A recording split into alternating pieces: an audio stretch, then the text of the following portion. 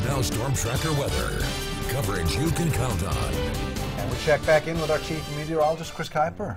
Boy, that rain was just pouring down last night, wasn't Sure it? was, huh? Couldn't Yeah. sleep. I know, it was roar on the roof. Uh, one to two inches of rain generally for most places in the valley last Wow. night. Kind of quieter today, but we still have one thunderstorm rolling across parts of the valley right about now. Uh, radar picture again showing the showers continuing in the mountains through much of the day today. The valley, few spits and sputters out there, but nothing really tremendous except in the far north end of the valley where we have a thunderstorm going on right now around Redding. Looks like the north and the west side of town uh, dealing with uh, some thunder and lightning, and then this, the central and the southern part of town, not quite so much. Towards city of Shasta Lake, potentially uh, thunderstorm activity going on there. Seems to be holding firm in this area here. Uh, fingers crossed that will continue to be the case tonight, and maybe we can keep the Redding Rodeo dry. Although I'm going to show you a high resolution model up in, in just a moment saying that might not be the case. It might get wet again for the Redding Rodeo. All right, looking at our Friday. Friday looks like the break in all the wet weather that we've got going on here. Kind of cloudy through the day. Temperatures a little warmer than this afternoon, although 67 in May, that's not very warm. It's just warmer than today. All right, that means for Chico State graduation going on tomorrow, I think we'll be okay with that. Uh, 67 degrees tomorrow at 7 o'clock, so that one looks good. Saturday morning, chilly and cloudy at 55. Maybe some sprinkles towards the end of the ceremony. We might have to worry about a few showers. And then the nighttime ceremony there on Saturday, that one looks wet. And the Sunday ceremony, unfortunately, that one might be wet as well.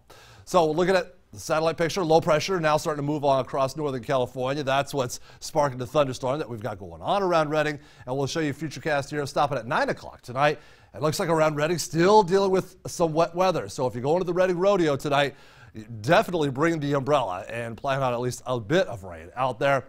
Uh, in Chico, probably okay for the Thursday night market. Take the umbrella if you're going out there just to be on the safe side. Midnight tonight, still some showers going on across parts of the valley. But as we get into our Friday, 8 o'clock tomorrow morning, commute time, not too bad. Fairly quiet out there. And the rest of Friday afternoon, fairly quiet. Although, again, around Redding here, towards 5 o'clock tomorrow, maybe another thunderstorm or some showers out there. So maybe some wet weather for the Redding Rodeo again tomorrow night.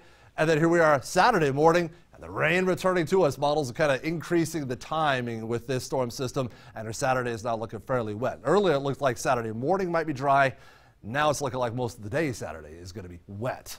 Tomorrow, uh, still some showers in the mountains, some scattered showers out there. Basically, high temperatures in the 50s. That means the snow level tomorrow should be above 5,000 feet. Take the umbrella with you, though. You'll need it at times, like you will on the ridge tomorrow. Not all day long, but just every now and then or so. In the north end of the valley, well, showers and a few thunderstorms, especially around Redding through the evening hours and then after midnight drying up. Tomorrow, just a slight chance of a shower, mainly around Redding.